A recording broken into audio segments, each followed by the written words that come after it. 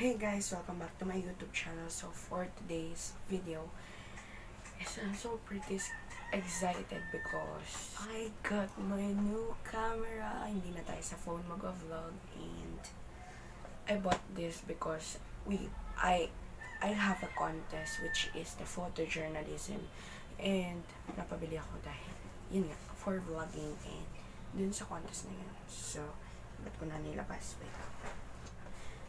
And I bought this from Camera House South Mall, SM South Mall. So, maraming Camera House. So, meron sa SM Mega Mall, BGC, SM Mall of Asia, SM Aura, SM North EDSA, SM Fairview, SM South Mall, which is doon ako bumili. Shangri-La Plaza, Glorieta 2, Robinson's Place, Ermit, Ermita.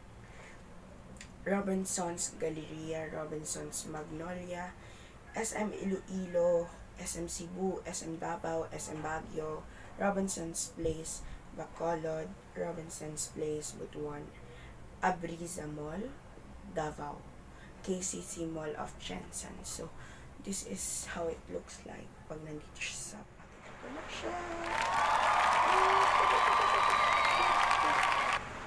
ayan, super excitement ko and yun, i-open na natin siya. May kalaman na bag. First, before you, uh, before you open, before you get into the, yan, yan siya. Pag binuksan, ang una mong makikita is ito, Getting Started Guidebook. Yan. And, it is the camera itself and may carton. So, ayan wala na ibang lagayan. So, pinahalo-halo ko na lang. But since the pla- plastic na lang natira. So, may free, ano tawag dito. And I bought, may bumili din ako ng necklace na which is ito. 50 pesos sa baklat. And yung case is shipping. So, after mo makita yung mga ganon, and may charger, ayan, adapter pa to, na basta, yung cord and yung kanyang pinakasaksakan ng charger. So, hindi ito factory charge, fully charged na siya kasi. And yung case ng SD cartridge is nawala na and itong battery, ayan siya. So, labas na natin and try natin and, ay wait, basahin muna natin yung description bago tayo. So, thi- this is the digital camera. PowerShot G7X Mark II. Meron siyang grease strap, which is this. Battery charger, which is this. Tapos, battery pack, ito. And wala namang, memory card is not included, but binigyan kami ng memory card. So, free lang, 16 gigabytes na siya. SanDisk Ultra.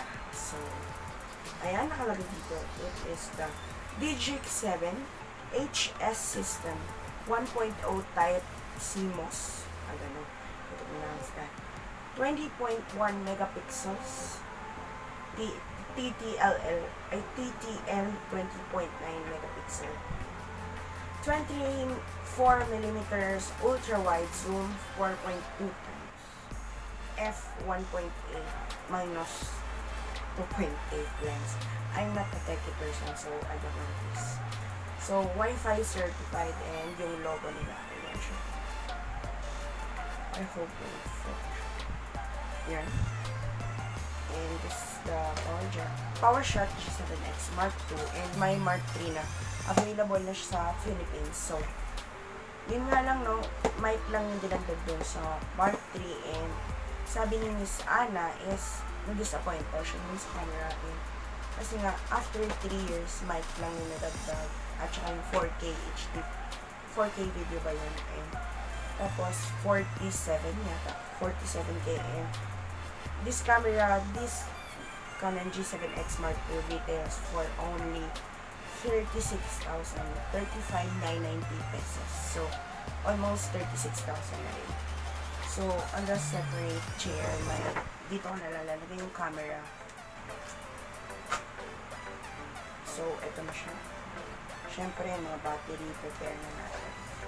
So, ayan, nakalagay siya sa parang styro na ganito.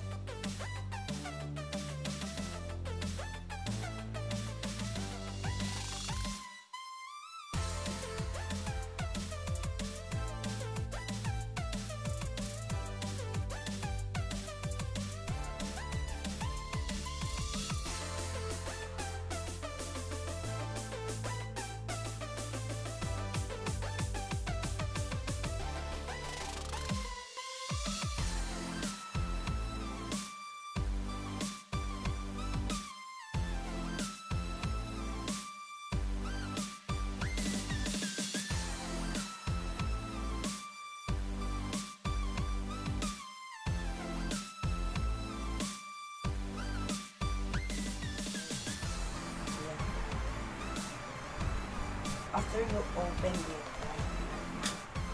after you open it, you see the camera itself. Pagkagandahan dito is for long range and compact camera tawag dito. And nandito yung button. And maganda dito is you can change the mode of your camera. And sobrang ganda na kasi you can take a beautiful selfies. Kasi napiflip na yung kanyang screen. 3, 360 ba to? 180. 180 degrees. Pwede mo siyang ganyanin, ganyanin, yan, like that, yan.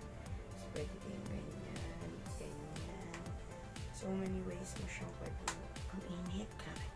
Sa Philippines. So, lagay na po natin yung kanya SD card and yung kanyang battery. So, I will be back. So, ayan, nakaset up na po lahat and gumagana na siya. So, according nga to Miss Anna, and kung ito yung hawak mo is yung Canon G7X Mark II is kung gutay-gutay na to or lutay-lutay na yung camera mo is if you're planning to buy a new camera is kung bibili ka na ng G7X Mark III is mas better daw kung mag M50 ka na lang kasi kung lalagyan mo ng microphone microphone, hindi na siya magiging compact camera kasi parang naka M50 ka na rin daw kasi kung malaki din siya. So, ito, okay naman siya pang vlog. But, yun na.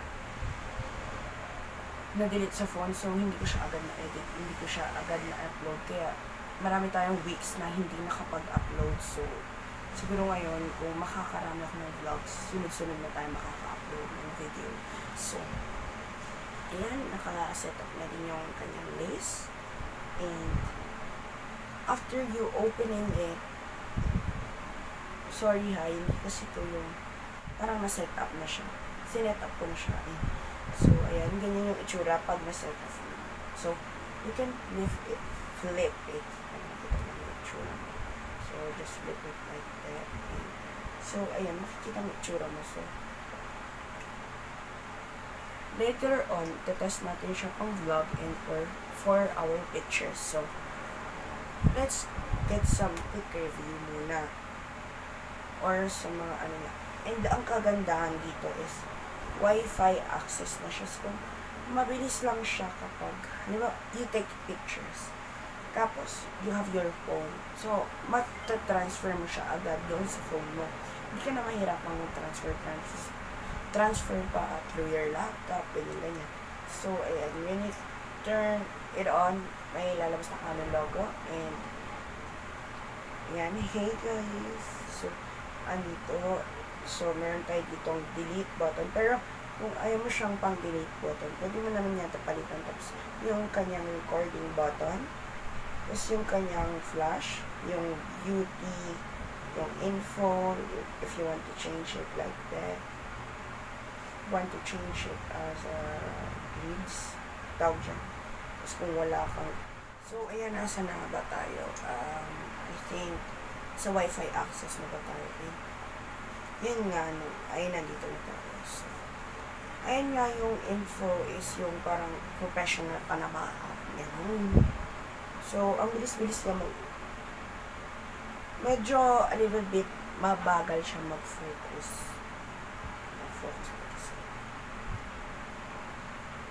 Medyo, medyo mabagal lang siya mag-focus. Yun lang. Yun lang yung pinaka na-disappoint ako since nung binili ko siya.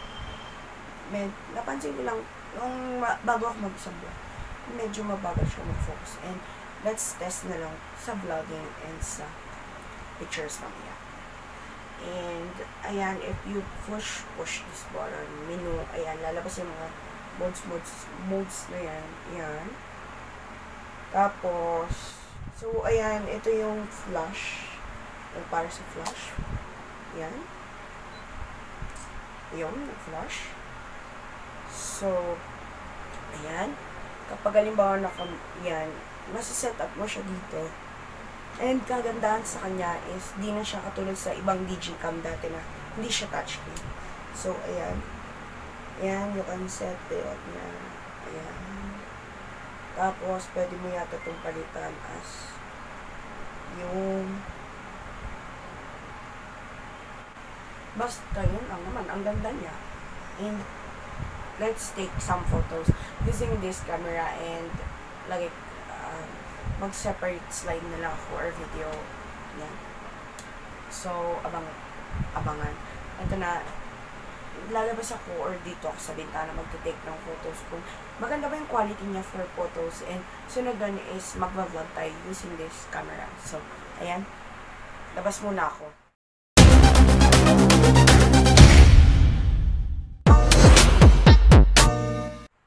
Since, ayan, nakita niyo na yung mga pictures na tinake ko and maganda naman siya and wala naman akong nakitang magandang view dito kasi nga, nasa squatter kami, di ba? So, ayun lang yung mga nakita ko, mga nagpakita ko sa inyong pictures na ganon kaganda and for focusing, sobrang ganda. Ano ko na lang yung mga samples ko nung nag-journalism ako sa school. And ayan, let's try it for vlogging. So, kung okay ba yung quality niya for vlogging. So, ayan, let's... So, hey guys, now I'm currently using the Canon G7X Mark II. So, sorry, hindi kasi ako sanay tumingin sa lens. So, doon ako napapatingin sa screen. So, okay naman yung quality niya as for vlogging cam. So, vlogging cam naman talaga to. And, sobrang ganda niya gamitin. Yun. Ang puti ko. So, maganda naman siya. Ayan, diba? Maganda naman siya for focus. Yung, ganyan lang naman setup ko. Diba? Camera and tripod lang. So, medyo magulo na tong studio. Tinuturing ko studio room. Kasi nga, dito kami gumagawa ng projects, ng work, basta. And ayan, yun nga lang, pag matagal mo na siyang hawak, nakakangawin siya, bish. Oh God. So, ayan, balik na tayo doon sa ating balik na tayo doon sa ating. So, ayan. Ayan na nga, yun. No? So, ayan, na-review na po natin ang ating Canon G7X Mark II. Eh, nakita nyo naman sa ating mga sinamples is sobrang, sobrang, sobrang ganda nyo po talaga. And, kung bumili kayo and meron naman, mas maganda yung accommodation, accommodation, yung anong tawag, yung service ng camera house and napakabait ng mga tao doon and nagbigay pa nga sila ng SD card, di ba? So, ayun lang naman sa video ito and I hope you enjoyed it and I hope you like this video and don't forget to subscribe and hit the notification bell to every time ah so yun guys ayun lang naman ayun lang naman sa video ito and I hope you like this video and don't forget to subscribe and hit the notification bell to notified every time I upload a new video. So let's see you on my next vlog. Bye!